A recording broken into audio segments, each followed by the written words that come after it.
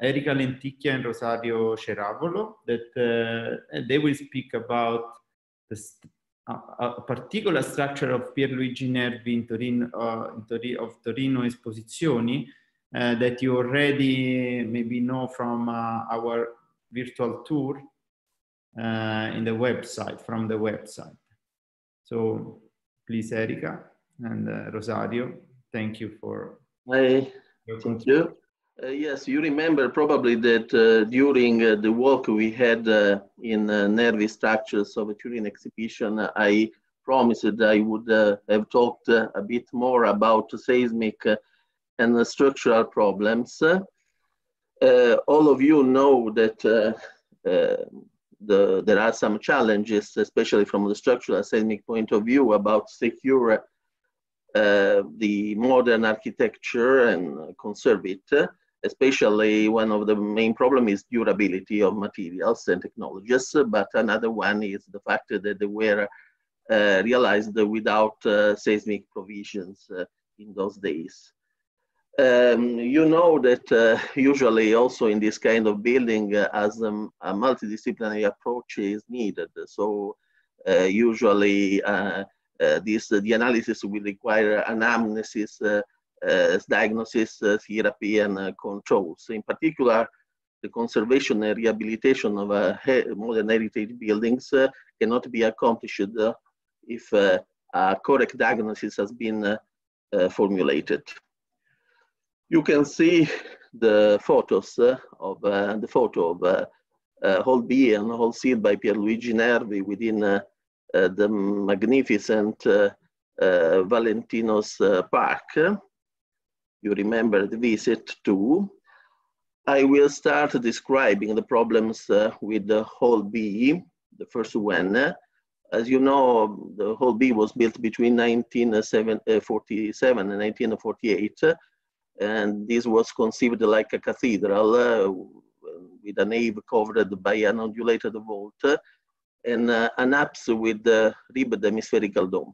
Then it was enlarged by five spans in order to move the facade to, to, the street. And we are also studying, also from the historical point of view, this aspect because it is quite interesting. Uh, the final dimensions is 100 by 150 meters, uh, as you can see. The main structural elements are uh, the apse, which is a ferrocement with the concrete ribs, the barrel vault, uh, which is reinforced the concrete slab lightened by masonry blocks, the undulated vault, which is a ferrocement with stiffening diaphragms, uh, the funded elements, which are, which are precast in concrete, the slanted elements, which are reinforced concrete, and the slabs, hollow block floors. Uh, some of these elements are made of ferrocement, a patent of uh, one of the patents, uh, or many of the patents of uh, uh, Pierluigi Nervi uh, conceived during autarky period as uh, reinforced concrete was banned in Italy. This material revealed to be elastic, ductile, resistant, homogeneous, light, uh, extremely moldable in any shapes, but especially it was cheap.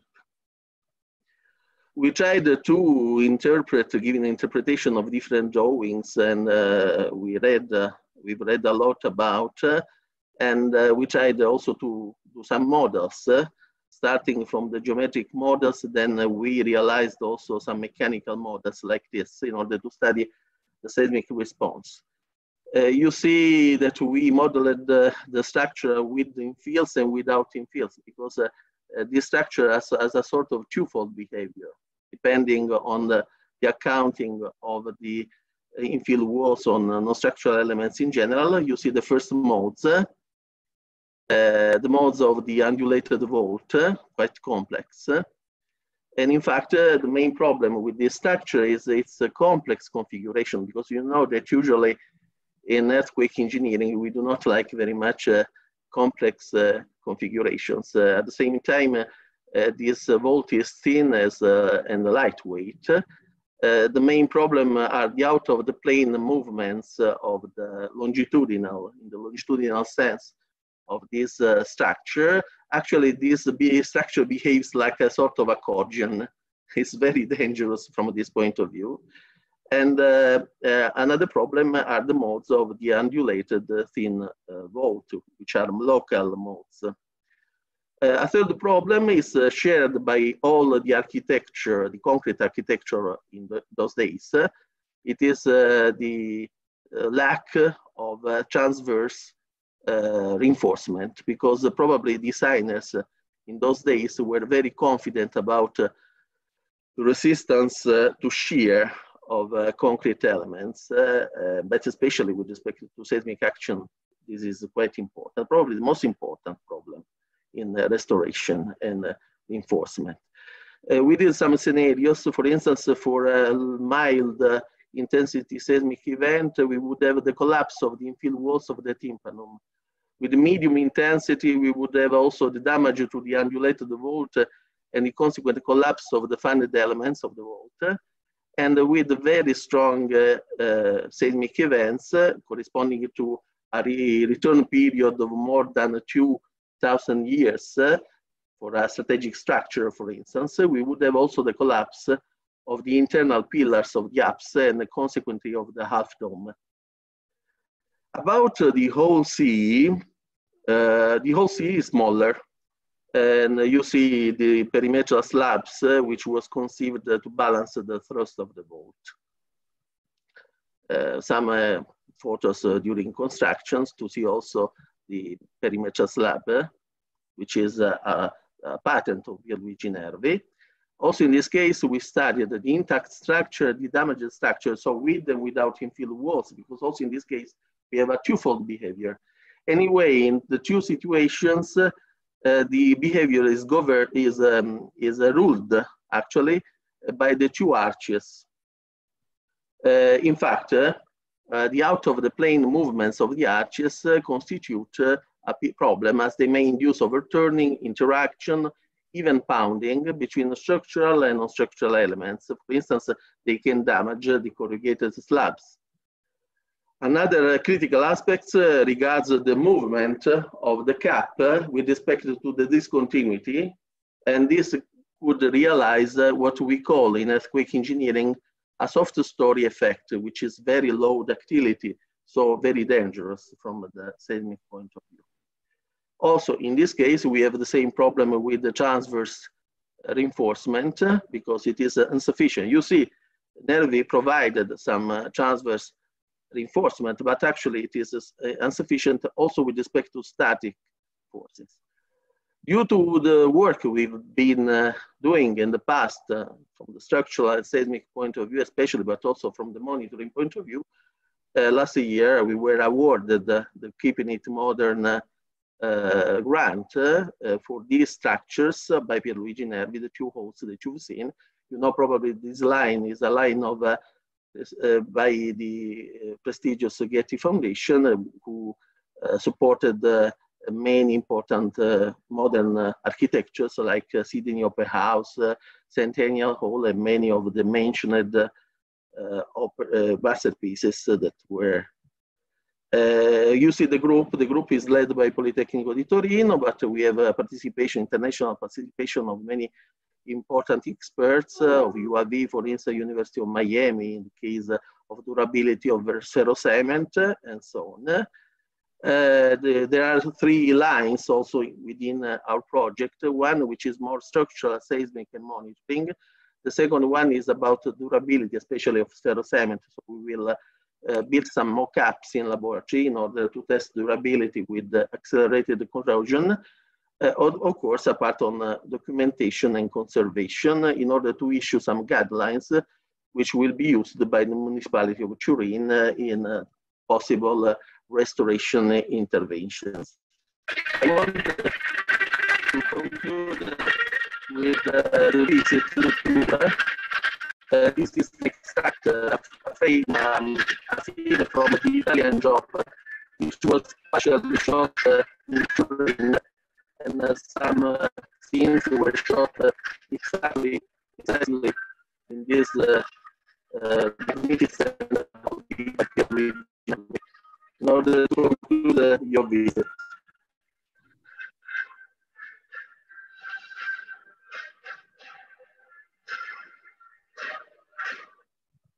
Thank you. So thank you, Rosario. Uh, really, really nice presentation. Uh, we have uh, time just for a very quick question, and Andrea Micheletti maybe has, has one. Yes, uh, thank you, Professor Ceravolo. Uh, a very clear and detailed uh, explanation about the structural behavior. Uh, uh, uh, the accordion behavior you mentioned, is it connected to the picture of this medium earthquake damage? And but the main question is how what we can do to retrofit the structure for, to avoid collapse in case of earthquake. Yes, I uh, I take I try to to recover the mm. uh, accordion. Yeah, yeah, yeah you're this one. The, uh, no, no, no, it's not this one. Is uh, the one with earthquake. Is the, se is the, the second? Uh, you see this one. Uh, it is uh, because it is dominated. You probably cannot appreciate here because there is a very strong deformability of the tympanum but actually uh, the behavior is like that. So it is an anomalous behavior. Maybe slide 14. Uh... Is uh, this one, which is governed, you see, by the uh, uh, deformability of the tympanum. But as the deformability of the tympanum is even more uh, critical than the, the accordion effect, okay. now from the magnification, you cannot appreciate, because I, unfortunately, I had not the idea to animate these, these slides but it is a, behavior out of the plane like this. Okay. This is one of the main problem of this um, of this uh, structure, even if the most important one is uh, the one that I mentioned about shear, insufficient shear uh, reinforcement. In fact, now we are studying about uh, the possibility to reinforce this structure uh, and the main problem we faced was the one uh, with, uh, because probably we have to uh, try uh, some technologies uh, to add some concrete without, or some new materials without modifying importantly the, the conception by Pierluigi Nervi. About the accordion behavior, the only thing you can do is to insert some uh, element in the, the longitudinal uh, uh, direction. Until now, we haven't uh, still uh, uh, designed or thought about this kind of intervention because now we are still, we are in the diagnosis stage. We want to understand very well yes. the behavior.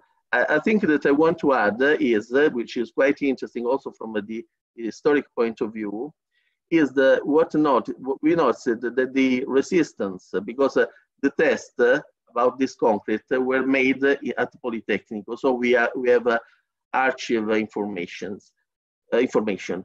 Uh, it is interesting that the the, the resistance, uh, the strength of concrete of the first part of the building and the second part, so the adding of the five elements, which was made three years after, uh, the characteristics of the concrete was completely different. In fact, we are studying this aspect because uh, this may affect also the problem uh, of the out of the plan uh, behavior and the accordion behavior during uh, earthquake engineering. So until now, we are at the diagnosis stage. Okay. okay. I just wanted to add one thing to answer Andrea. Um, it's even the aim of the Getty Foundation to fund uh, a project that wants to analyze uh, which are the best uh, ways to um, retrofit this kind of buildings. And uh, I also think that uh, uh, not only raising awareness about the heritage of this building is very difficult, but even to act on preserving them. Especially in Nervi, we have very thin elements and it is very difficult difficult to retrofit uh, even ferrocement elements, undulated elements, without uh, modifying them. So we are trying to understand which are the best action to take uh, to preserve this building, but without uh, um, losing their, their characteristic, they, their real legacy. So even to find to uh, the right uh, retrofit intervention. So it's a kind of challenging. Thank Yes, you. We want to invest in knowledge. We want to invest in knowledge. Yes. Erika and Rosario.